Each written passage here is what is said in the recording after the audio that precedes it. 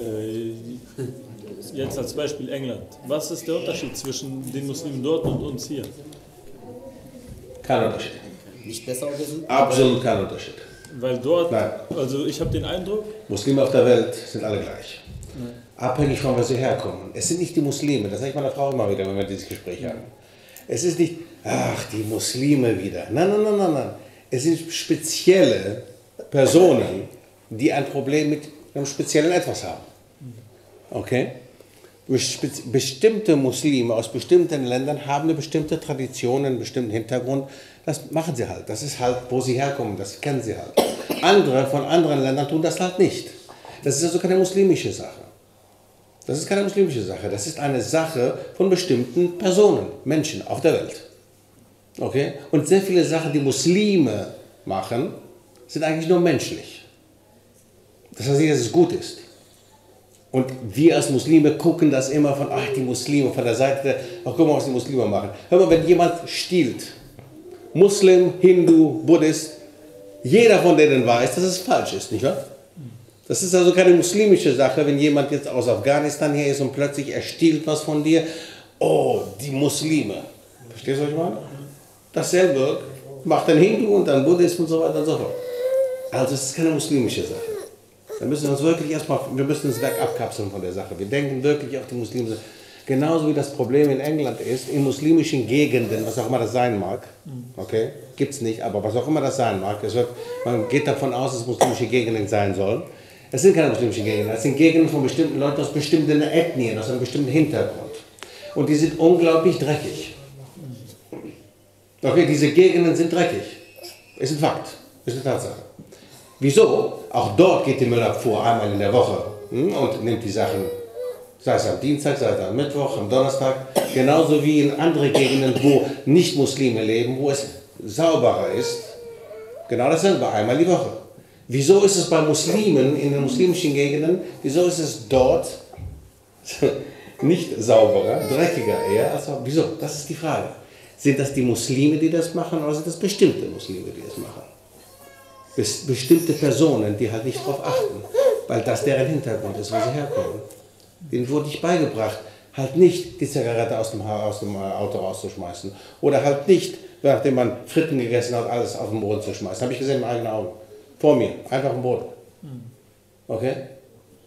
Also, das ist keine muslimische Sache. Es ist halt eine Sache von bestimmten Nationalitäten sogar, von bestimmten Ethnien, von bestimmten Menschen, von bestimmten Einstellungen. Und daran müssen wir arbeiten. Das ist keine muslimische Sache. Okay? Ist raus, ist England. Also, besser dort als hier, ist eine Frage. Nach 20 Jahren frage ich mich immer noch, was besser ist dort als hier. Nicht die Muslime. Die Gesetzeslage des Landes ist besser. Ja, ich weiß. Okay, ich glaube, das ist der Punkt, die Gesetzeslage. Das sind wirklich nicht die, die zehn Indo-Pakistaner, die weniger sind uns dort als hier. Hier sind es viel, viel mehr. Okay, es sind viel, viel mehr Muslime im Land dann dort. Prozentuell gesehen sind es viel mehr hier als dort. Okay, es sind nur 4 bis 5 Prozent Muslime in England, während es hier 7 bis 8 sind. Prozent.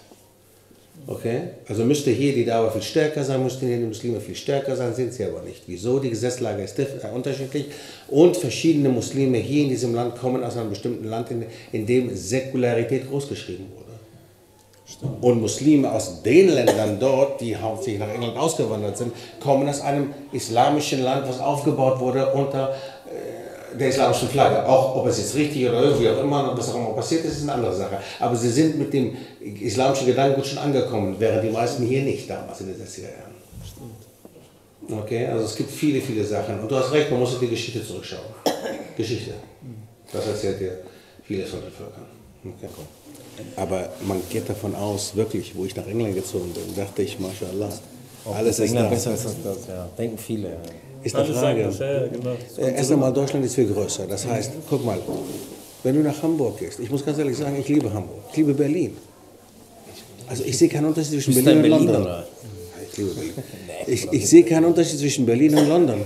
Ich sehe Halal-Restaurants, ich sehe Muslime, ich sehe Moscheen, alles genauso wie in London.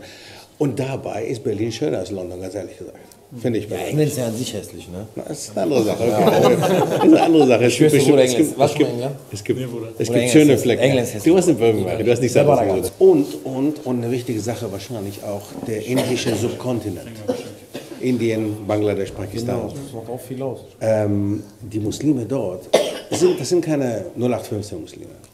Okay? Also, was auch immer darin praktizieren, sie sind, das sind Leute, die sind wirklich, also wenn die ankommen, die kamen in den 50er, 60er Jahren in England an, die, kommen in, die kamen in den 19, in, 19, im 19. Jahrhundert kamen sie in England an und haben ihre Sachen getragen. Es war denen egal, dass sie jeder angeguckt hat. War denen egal.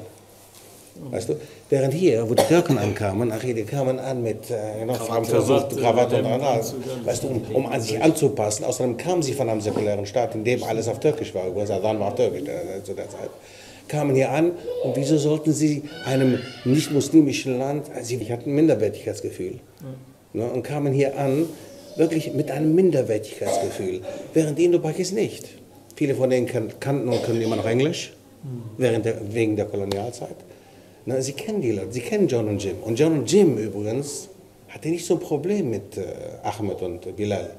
Im Gegenteil, viele von den John und Jims haben sogar Urdu gelernt, viele von denen sogar sind zum Islam konvertiert. Im 15., 16. Jahrhundert gab es englische Muslime. Es gab mehr englische Muslime in Nordafrika, als es Engländer in den USA gab. Also, das sind so Sachen, die spielen eine Rolle. Das ist ein geschäftlicher Unterschied. Deswegen. Ja, ja, da ist ein Unterschied. Die erste Moschee in England wurde nicht von einem Pakistani gebaut. Das war im 19. Jahrhundert, so von Abdullah William William. Abdullah William William war ein Staatsanwalt. Staatsanwalt, Staatsanwalt, genau. Okay?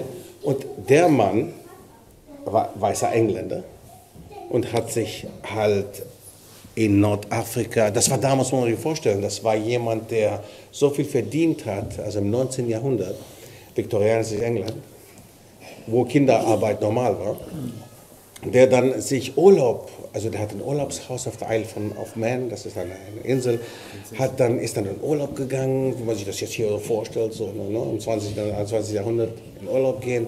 Er war in Marokko, er war in Algerien, hat sich dann plötzlich auch Muslime, Engländer gewesen, der im 19. Jahrhundert schon so reich war, er war so Staatsanwalt, okay? Und er ist dann sehr oft, hat er sich halt Urlaub gönnen können, damals im 19. Jahrhundert, viktorianisches England.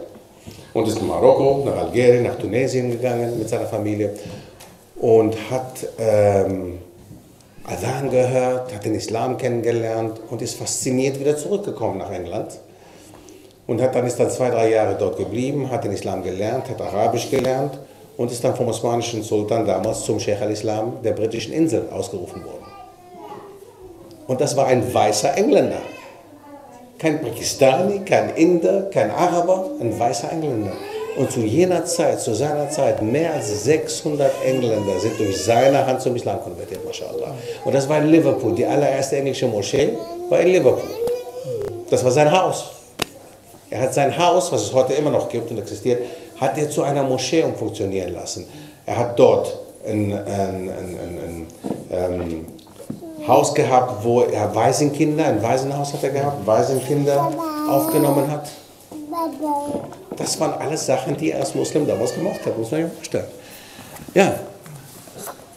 So, ja. Hm. Und zu der Zeit gab es kein Deutschland, das war vor 1871. Nicht wahr?